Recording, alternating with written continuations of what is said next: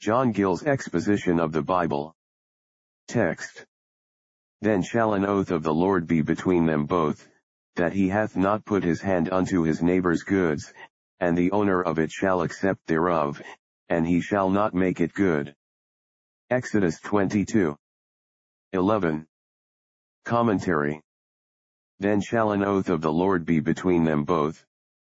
Either by the one, the keeper, for the satisfaction of the owner, or by them both, by the owner, that he delivered such and such cattle to the keeper, and by the keeper, that he was no ways concerned in the death, hurt, or carrying off of the same.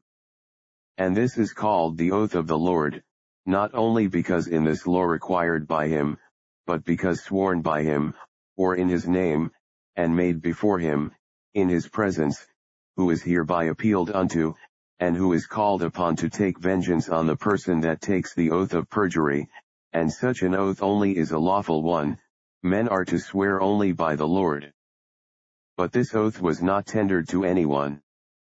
If a man was suspected of an oath, i.e. of perjury, they might not give him his oath, neither the oath of the law, nor the oath from their words, the scribes, nor the oath of imposition, imposed by the wise when, and even though he that brought the action would have it, they might not hearken unto him.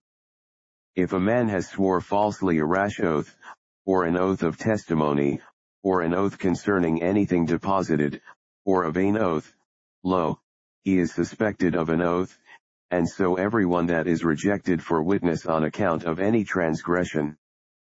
The oath to be taken by the keeper, and who indeed seems to be the only person that was to take one, was, that he hath not put his hand unto his neighbor's goods, so as either to kill or maim, or drive away, or suffer to be driven away, any of the cattle committed to his care, or that he had not disposed of them to his own use and profit.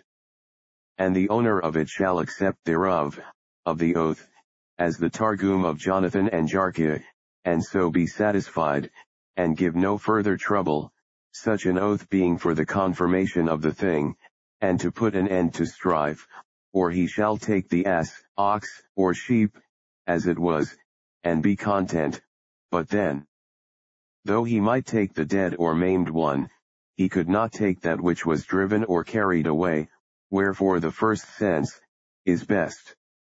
And he shall not make it good, or pay for it to the owner what it was worth.